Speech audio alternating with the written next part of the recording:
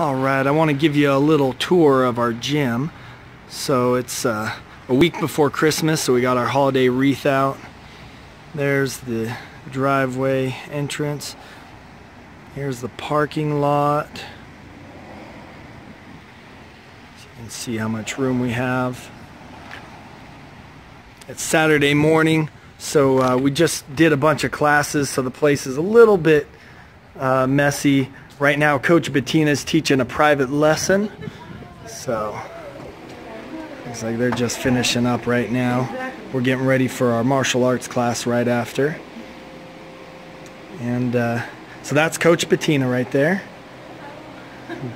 When you first walk in, this is our display cabinet here. And you're going to uh, come over and grab a waiver off the table, fill that sucker out. Here's our price sheet.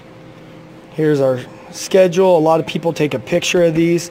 Um, that way they've got them. We also have the uh, schedule on the website. And then if you need gloves or hand wraps or any of that, right here is where you can pick that up. If you need to put stuff away, we've got a little spot right there for you. Uh, if you got bigger items, we've got um, kind of over in that corner over there, you can put like your purse or whatever.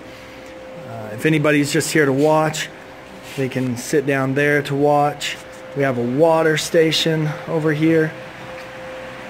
come get some water. And then these are the bags we use. We got some kettlebells. Caleb's warming up for our next class. These are, there's our Bob and then our yoga station right there.